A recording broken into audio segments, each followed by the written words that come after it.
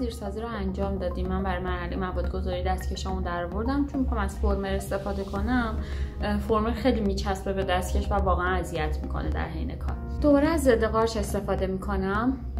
ضد قارچ علاوه اینکه از قارچ ناخن جلوگیری می‌کنه به شما کمک می‌کنه که دوباره رطوبت و چربی اضافه صدف ناخن گرفته بشه.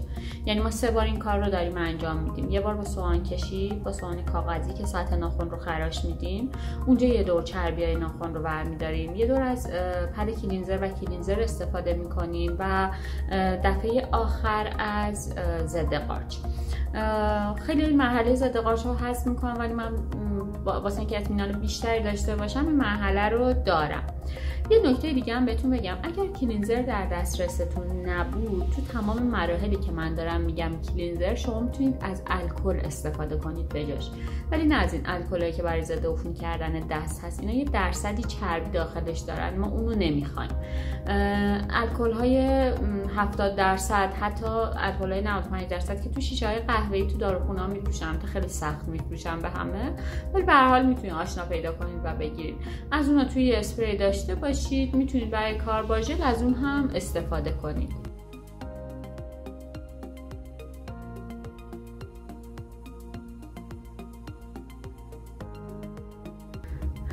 قبل, قبل از اینکه فرمرم رو نصب کنم پرایمر و بیس این ناخن رو می‌زنم. بعد فرمر رو می‌ذارم سر جاش. وقتی صدف ناخنتون خیلی نازک شده بر سر کاشت های زیاد ریموو نامناسب یا هر چیزی. به جای یک لایه بیسکات می‌تونید از دو تا حتی سه لایه بیسکات استفاده کنید. این بیسکات اضافه به شما کمک می‌کنه که لایه های اضافهش کمک می‌کنه که ناخن استحکام بیشتری پیدا کنه و پذیرای مواد باشه. چون ناخنهایی که استحکامشون پایینه در حقیقت پذیرای مواد نیستند انگار. من قبل از شروع کارم قبل از اینکه بیس بزنم از یه لایه پرایمر استفاده می‌کنم. ولی دقت کنید وقتی دارید با ژل کار می‌کنید حتما از پرایمر غیر اسیدی استفاده کنید. کلا سعی کنید پرایمر اسیدی رو از دایره وسایلی که استفاده می‌کنید حذف کنید. دوباره تکرار می‌کنم تو همه ویدیو اینو میگم اینجا هم میگم. که پرایمر اسیدی یک جا استفاده داره. اونم وقتیه که مو و پوست مشتریتون خیلی چربه و شما قبلا پرایمر غیر اسیدی رو امتحان کردید. ناخن ها هر کاری که می‌کنید هوا می‌گیره. این می‌تونه بابت این باشه که صدف ناخنشون خیلی چربه. اونجا می‌تونید از پرایمر اسیدی استفاده کنید. پرایمر اسیدی به شما کمک می‌کنه که موادتون راحت تر بچسبه تفاوتشون هم اگر روش نوشته نشده بود مهمترین تفاوتش اینه که پرایمرهای اسیدی بوی بسیار تند و زننده ای دارن. پس علاوه اینکه حساسیت ایجاد می‌کنه دور ناخن مواد ژل رو می‌خوره. صدف ناخن رو نازک می‌کنه. یک مقداری بوش هم بسیار برای ریه مضر و آزاردهنده است چون صد درصد اسید خالصه اون. یه لایه نازک از پرایمر رو روی کل ناخن می‌زنم. در حد یه سه چهار ثانیه بهش فرصت بدید. بعد بیس کاتتون رو بزنید. برای زدن بیس بهتون گفتم که بیس باید یک لایه خیلی نازک باشه. برای اینکه یه لایه نازک بردارید سر قلم رو که برمیدارید روی سر بطریتون یه بار از این بر یه بار از این بر بگیرید. این میزان کافیه. یعنی حتی دو سه تا ناخن رو هم می‌تونید با همین قلم بیس بزنید این ناخنشون چون هنوز یه ذره مواد روش داره مقاومت خوبی داره. پس لازم نیست دو سه دور بزنیم.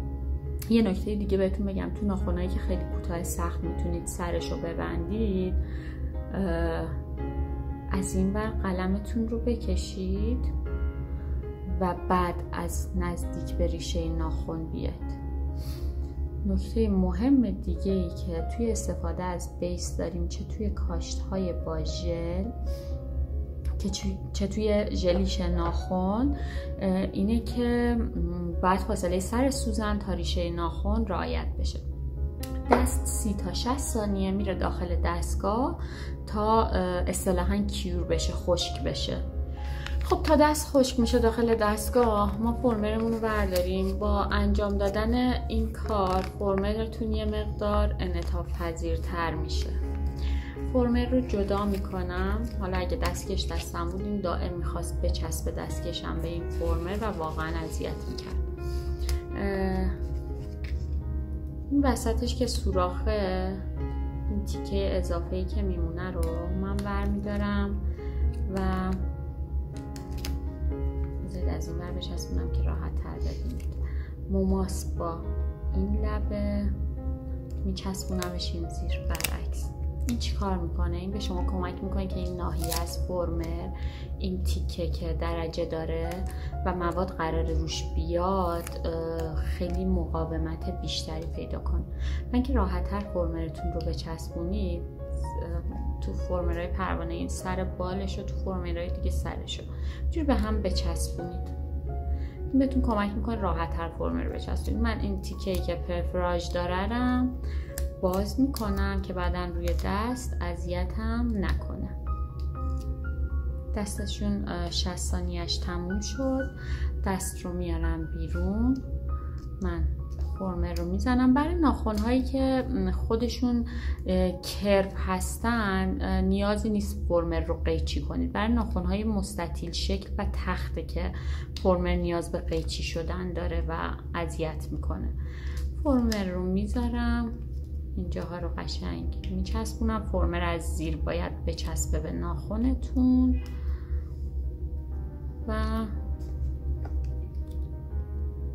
فرمر الان راحت سر جاش قرار گرفته.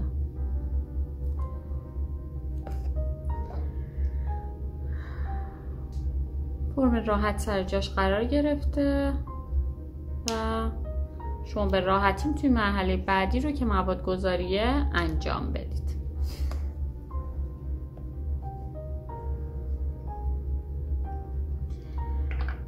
من برای مواد گذاری از قلم شماره 8 استفاده می‌کنم. قلم های کاشت با پولیژل یه سمتش حالت یه کاتر یا کاردک داره می‌تونید مواد رو راحت باش بردارید. و سمت دیگهش برای صاف و صوف کردن مواد. یه نکته من راجع به قلم های کارباژل بهتون بگم. قلم های کارباژل قلم هایی هستند با موی مصنوعی. شما نمی‌تونید از قلم های با موی طبیعی یا همون قلم های کار با اکریلیک کار ژل رو انجام بدید. چرا؟ چون مواد ژل خیلی راحت میچسبه به موهای این قلم و برای شما مشکل ایجاد می‌کنه. توی مواد گذاری هم مواد زیادی هدر میره هم راحت نمی‌تونید مواد رو صاف و صوف کنید. این یه نکته. نکته دو اینکه از جاهایی که لوازم تحریر میفروشن قلم نخرید برای کاشتتون. حتی اگر گفتن موهاش مصنوعیه حتی اگر گفتن موهاش طبیعیه. این قلم ها خصوصیات خاصی دارن. موها باید یک اندازه باشه که مواد لایه مو نره و هزار تا نکته دیگه. پس بهتر از جاهایی که تخصصا مواد کاشت با ناخن و ابزار کاشت با ناخن رو میفروشن قلمتون رو تهیه کنید. هم از نظر اقتصادی براتون به صرفه تر چون یه قلم می‌خرید و با نگهداری درست سالها ازش استفاده می‌کنید.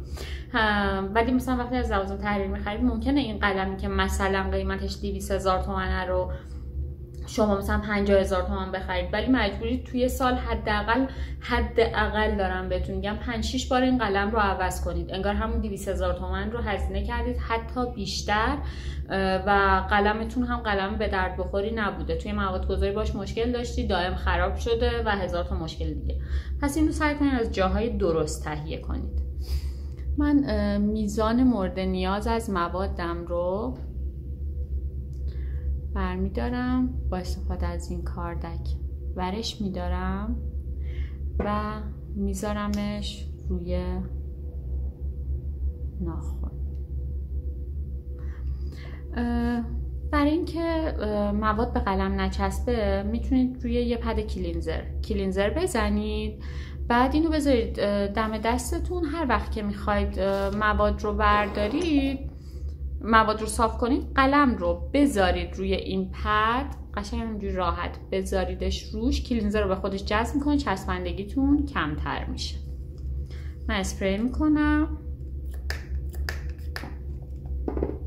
قلم رو که روی پد کلینزر گذاشتم شروع می‌کنم. مواد رو باهاش صاف کردم. به سمت ریشه ناخن هل میدم و اگر دقت کنید من با یه ضربه های کوچیکی اگر هوایی این زیر باشه می‌گیرم.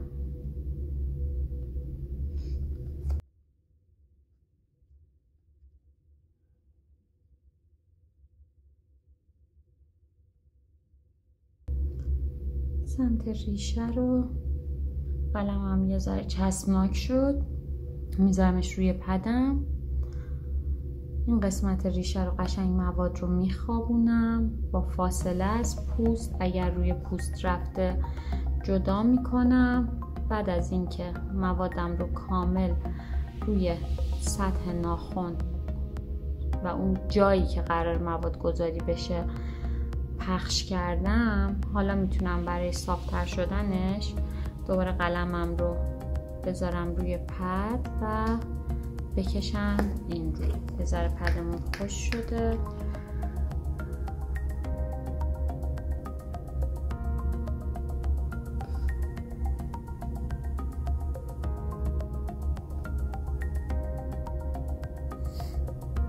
خیلی اوایل کارتون حساس نشید روی اینکه حتما باید صاف صاف باشه روی موادم. گذاری ما. ناهمواری هم اگر داشته باشه مسئله نیست. شما خیلی راحت با سوهان دستی یا سرسوهان کاغذی می‌تونید این رو بگیرید.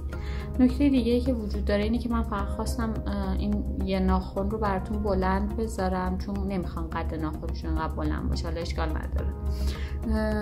بعدا کوتاهش می‌کنیم با سوهان.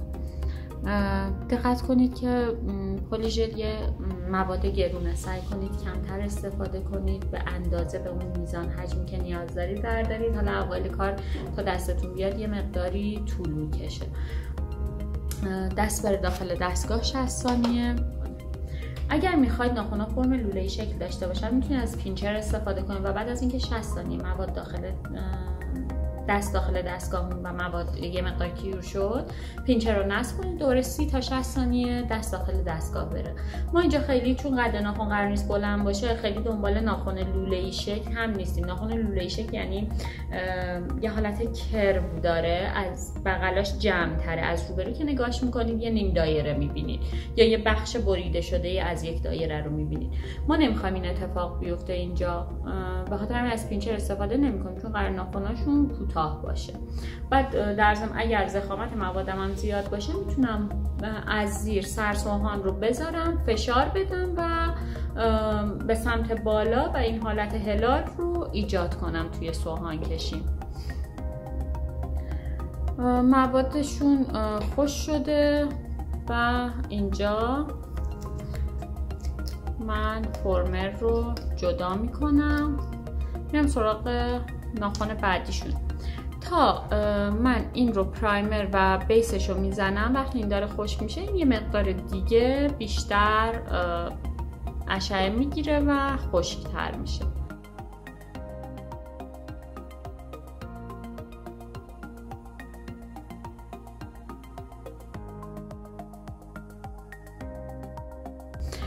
نگاه کنید توی همین مرحله قشنگ اگر از رو ببینید. قابل خم شدنه با دست خودتون هم حتی می‌تونید یه ذره اینجوری خم کنید. بفرستیدش داخل دستگاه. با بیس این که داره خوش میشه اینم یه ذره به خودش حالت می‌گیره. خب فرمر این ناخن رو قرار میدیم سر جاش.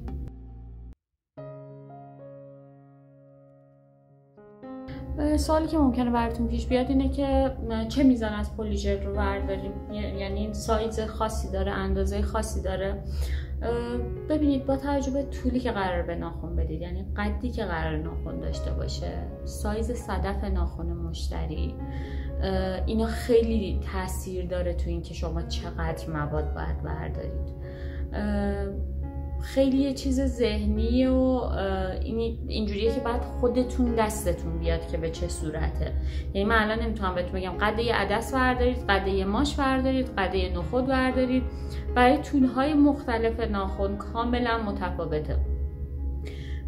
تا وقتی که دستتون بیاد مسئله ای نیست. زیادتر بردارید خب موادتون هدر رفته. ولی اشکال نداره. تو سوان کشی می‌تونید درستش کنید ولی سوان نه خیلی هم زیادیه و یه ناخون خیلی ضخیم و بد فرم درست کنید بعد بگید سوهان کشی می‌کنم. سوهان کشی زیاد توی polygel ها و ژل ها و کلا اصلا توی مواد اکریلیک هم حتی.